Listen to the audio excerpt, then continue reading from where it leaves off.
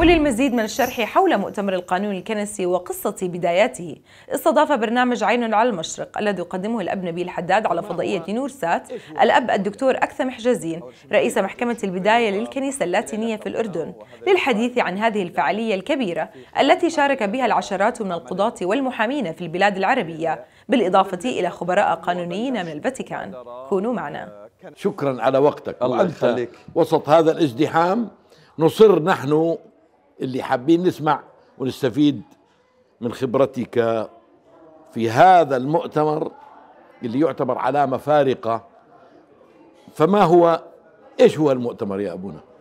أول شيء من جديد بجد شكري ومحبتي لك أبونا وهذا اللقاء الجميل جدا في خضم هذا ال- ال- الأعمال المؤتمر ال- هذا المؤتمر هو بلش بمبادرة آه، كنسية محلية قبل تقريبا حوالي بال 2012 نعم. آه، بواقع وسبب إنه محامين اللي بيدافعوا أو بيرافعوا في المحاكم الكنسية ما عندهم أي ثقافة قانونية كنسية. لا في القانون الكنسي ولا في الإجراءات ولا في كل المتطلبات القانونية.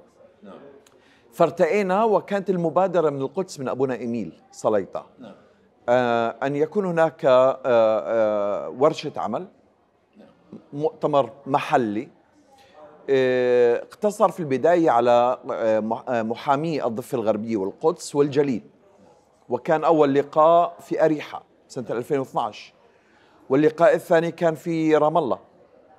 واللقاء الثالث رجعنا على أريحة وبنفس الوقت كانت في مبادرة جديدة يعني توسيع هذا دعوة محامين أردنية للمشاركة وتم تقديم الفيز لهم ولكن للأسف دورة الاحتلال هي احتلال أعطت مواعيد الفيزا ما بعد المؤتمر موعد الموعد لدى السفارة ما بعد المؤتمر لم يحضر إلا شخص واحد يحمل هوية فلسطينية وأيضا حضر شخص من لبنان الأباتي المرحوم الله يرحمه آه، مارون نصر اللي كان بيحمل جواز سفر أجنبي.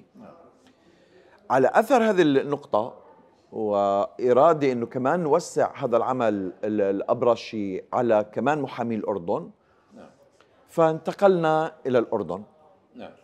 وبنفس الوقت كانت ال- ال- الفكرة بالأساس كمان هي من المحاكم ال- يعني المبادرة بأبونا آه، إيميل سليطة ولكن كان في لجنة تأسست لجنة من الروم الكاثوليك من ال- الموارني من اللاتين اللي كنائس كاثوليكية. تعمل على هاي المبادرة.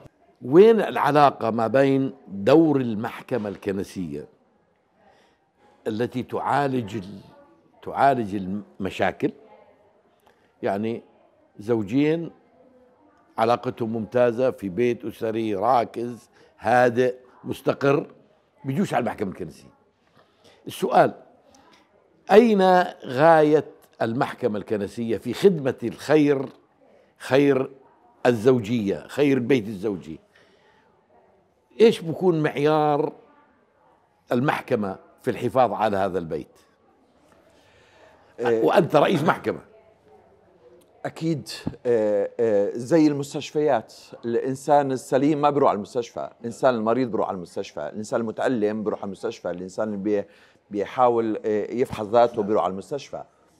المحكمة الكنسية هي مساعدة هؤلاء الأشخاص اللي في أزمة بحياتهم الزوجية في علاقتهم الزوجية ولكن من فترة بلشنا وأيضا المجال هذا كان موجود من قبل ولكن ما مش مرتبط في المحكمة الكنسية بصورة صح إيه، مباشرة إنه في عنا مكتب رعويات.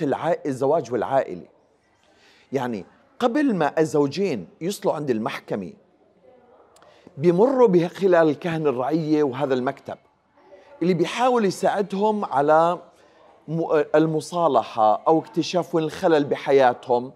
إذا كان الخلل هو في العلاقة الشخصية أو في أزمة مادية أو في أزمة ثقة بيناتهم بده يحاول يصلحهم. هنا دور مكتب العائلة والكاهن والخبير النفسي والأشخاص الموجودين معه بالمكتب.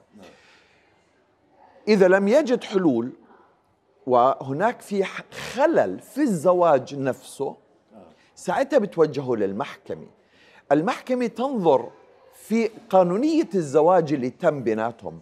هل هو زواج صحيح من الأصل أم غير صحيح من الأصل؟ لأنه المسيح حكى لما سألوه هل يحق للرجل كما أمر موسى أن تعطى كتاب. طلاق وتطلق؟ آه. فالمسيح حكى لقساوة قلوبكم سمح لكم- لك موسى. صرح لكم موسى الطلاق. نعم. ولكن لنعد إلى البدء منذ البدء خلقهم الله ذكرا وأنثى. لذلك يترك الرجل أباه وأمه ويلزم امرأته فيصير الاثنان جسدا واحدا.